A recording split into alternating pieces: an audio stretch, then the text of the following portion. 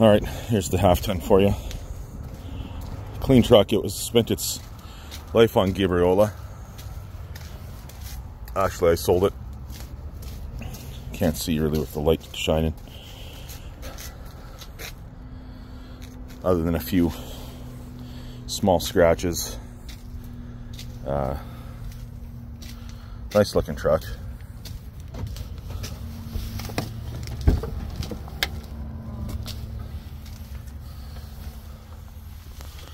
53K. Sunroof, no smoke. It's just a collision with a deer. Was the accident on it.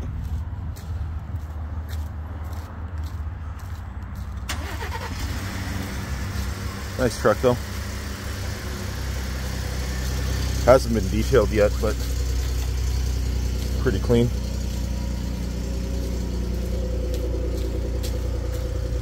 Hey buddy. There you go. Rims are in good shape.